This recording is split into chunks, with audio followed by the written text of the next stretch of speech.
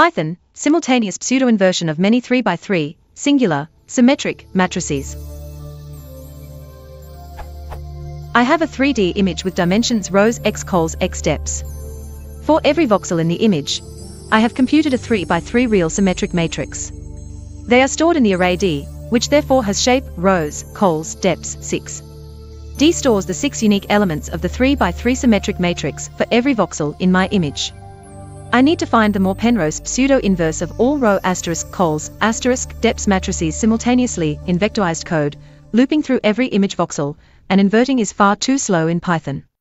Some of these 3 by 3 symmetric matrices are non-singular, and I can find their inverses, in vectorized code, using the analytical formula for the true inverse of a non-singular 3 by 3 symmetric matrix. And I've done that. However, for those matrices that are singular, and there are sure to be some, I need the Moore-Penrose pseudo-inverse. I could derive an analytical formula for the MP of a real, singular, symmetric 3 by 3 matrix. But it's a really nasty a lengthy formula, and would therefore involve a very large number of element-wise, matrix arithmetic, and quite a bit of confusing looking code.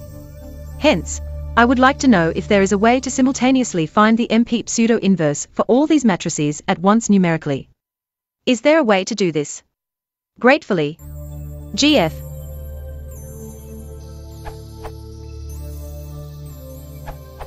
Edit, see at Jamie's answer. Only the discussion in the comments to this answer is useful now, and only for the specific problem at hand. You can do this matrix by matrix, using SciPy, that provides pinv, link, to calculate the Moore-Penrose pseudo-inverse. An example follows.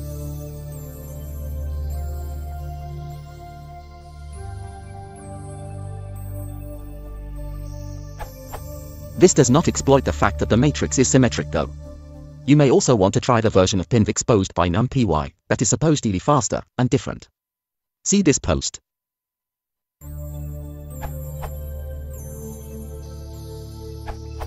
NumPy 1.8 included linear algebra gufuncs, which do exactly what you are after.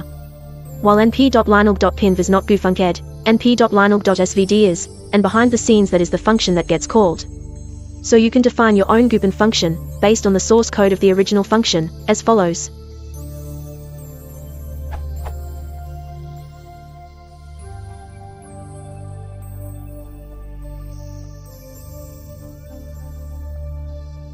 And you can now do things like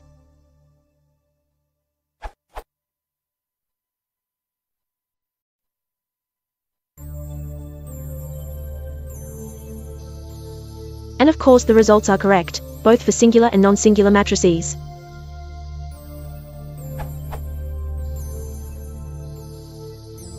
And for this example, with 50 times 40 times 30 is equal to 60,000 pseudo-inverses calculated, which is really not that bad, although it is noticeably, or for x, slower than simply calling np.linalg.inv, but this of course fails to properly handle the singular arrays.